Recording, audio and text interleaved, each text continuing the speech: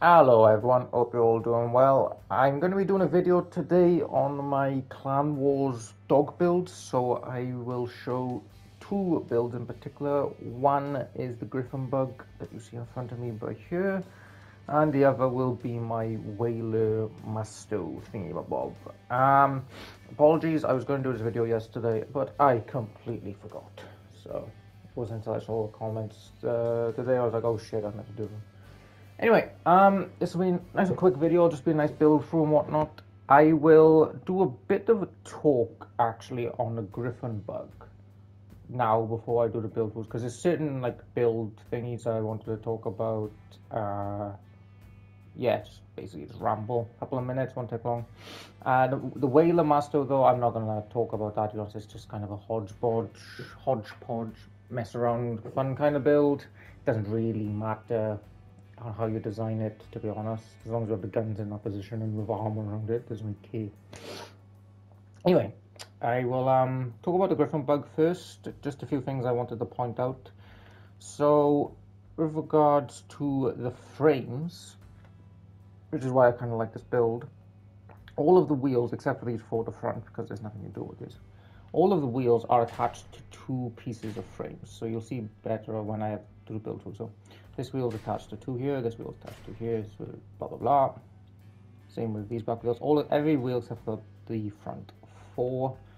Uh, so that I quite like. Also, I'm pretty fond of the mounting for the roof. So there's basically four four anchor points for the roof, if you will. You got these two here, which are this and this, and you also got this piece here. This piece is connected to the helicopter part, but it's also connected to the armor as well. So the roof doesn't uh, fall off after one or two shots. It's pretty nice. It's got the ammo packs at the back, so the keen and the radar here act as nice armor. So, for example, I've got two armor. Say if I was getting shot in the back, for example, I've got two armor packs at the back here, which are for Dura and Resistances. So that's 290 each. So that's 580. Plus I've got a 240 Dura Verifier and I've got a 200 Dura Keen. That's almost about a thousand Dura that isn't attributed to the carb. So this can actually get shot quite a lot and it's got 2000 HP. So this can get shot quite a decent amount in the back before it dies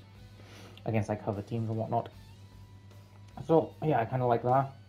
Also, if you destroy this ammo pack, it will destroy this frame here, but won't destroy this, so you'll still have the wheel which is also pretty nice. Um, besides that, the uh, basically the Oma is the Omamori is connected to the cabin. It's connected to these two guns here. It's connected to the cloak. It's connected to the Pegasus, and it's connected to the Jenny underneath. So I quite like that as well. You don't get engined in this ever. I've never been engined in this. That's just So that's pretty sweet. And uh, yeah, it's nice and reliable. I'm a big fan of it. So that's pretty much that. I'll get onto the uh, the building now, and I will catch you all for the stream probably Saturday morning. Oh, actually, I wanted to say before I, I go, I want I was thinking of doing a video. Because I keep seeing uh, videos on Crossout of people suggesting builds and what builds to use and whatnot. So to be honest, most of the videos that I see, the people in it either talk for too long or they don't know what they're talking about. So I was planning on doing it like a Clan Wars version, basically, where I would tell you what uh, like paths of weapons and cabins you would need for a certain build archetype and what basically what to buy and what not to. So if you wanted to spend the bare minimum amount of coins on like a progression arc, if you will, to a certain type of build, like a like a DPS spider, like a range spider, range hover, etc. Then I would tell you what works in Clan Wars and what doesn't. So I think I'll do now, but just let me know if people are interested. Because uh, if not, I won't bother. Save myself some time. But yeah, I'll tell you what's meta and what's not and all that stuff in Clan Wars. Anyway, that's uh, pretty much it for me. And yeah, catch you weekend, guys.